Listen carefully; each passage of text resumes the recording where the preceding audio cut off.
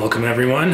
It's been a while since I put out a video, but um, that's not going to be the case in the future. I've been working on my video editing skills and I'm going to put out lots more videos and stick with it here because I am not giving up on over Unity and having a working device very soon that produces excess power that we can power homes with, grow food with the excess power, light up some greenhouses, and that's my goal. So bear with me. The next video, or this current one that I'm putting out, is going to show you a little bit of what it took to build uh, the second generation Kromrey with the raw materials and the machining and things like that.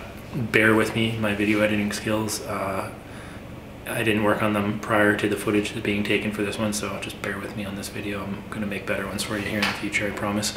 Please like and subscribe, and let's work together to get this Over Unity out to everyone to the masses. Uh, it's obviously real. There's lots of people that have this working. They've had it working in the last, I mean, last hundred years. There's been several people that have working free energy devices. There's lots of people that have them working now.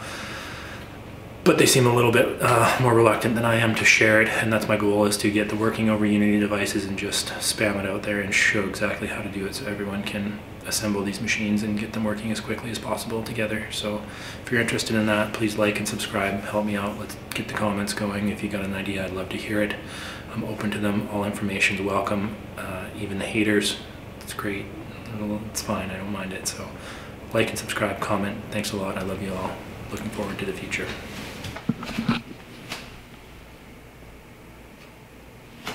One inch by one inch.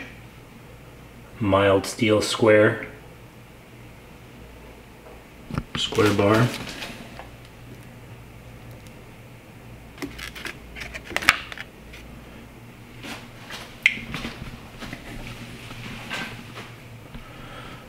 Mag wire. 10 kilograms of mag wire aluminum round stock rod. 5 eighths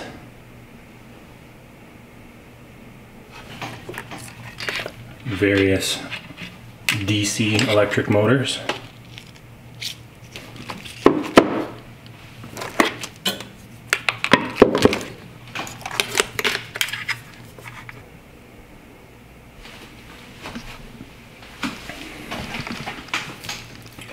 What is a square stock for? The square stock is for these pieces on either end of the stacks of magnets and then also the center centerpiece where the coils are wound around. That's all ferrous. What's this for? Obviously for the coils that are wrapped around the steel cores. Are here for the magnet stacks. We're gonna have four stacks of magnets, not just two on the next machine.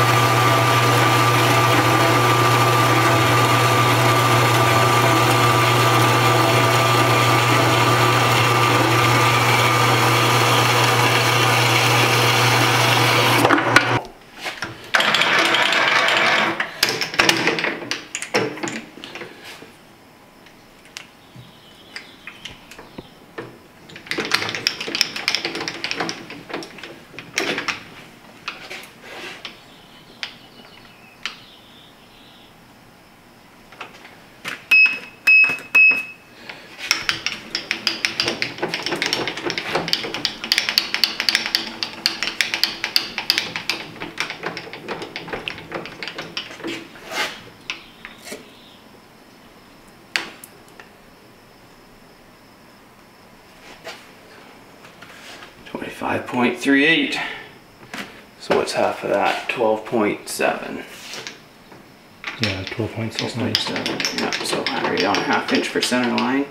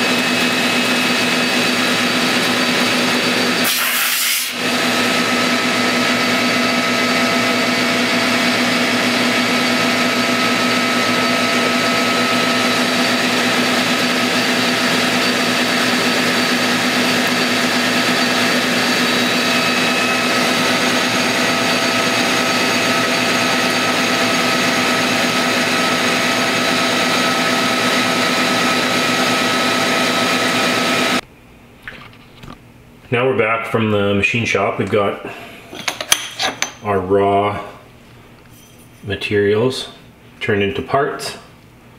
So this is the 5 8 diameter round aluminum stock.